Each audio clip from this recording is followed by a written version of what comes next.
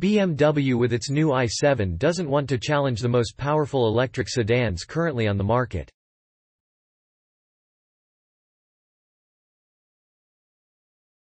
The current most potent version is the i7 xDrive 60, whose two electric motors make 536 horsepower, sprints to 60 in 4.5 seconds, although it won't remain the range-topping performance variant.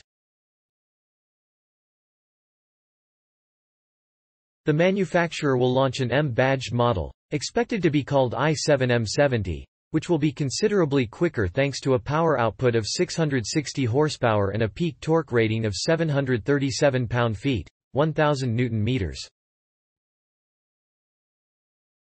That will drop the sprint time to under 4 seconds, but it is unlikely that the top speed will be raised from the xDrive 60 model's 149 miles per hour, 240 kilometers per hour. Range will surely drop, as it does in performance versions, especially since BMW is unlikely to change the battery.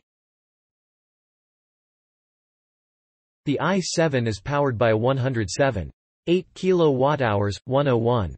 7 kWh oh usable pack that pushes the xDrive 60 version up to an EPA-rated range of 300 miles. Expect that to go down to maybe 280 miles in the M70.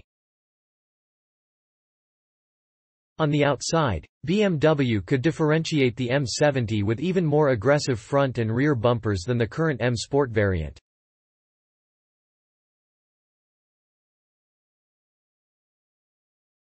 Side skirts might feature a more aggressive design too, and even though BMW will not flare the fenders, it could add small plastic flares to cover what we expect to be wider wheels. Thanks for watching. Credits to InsideEVS.com. Please like my video and subscribe EVpedia for more electronic vehicle news and updates.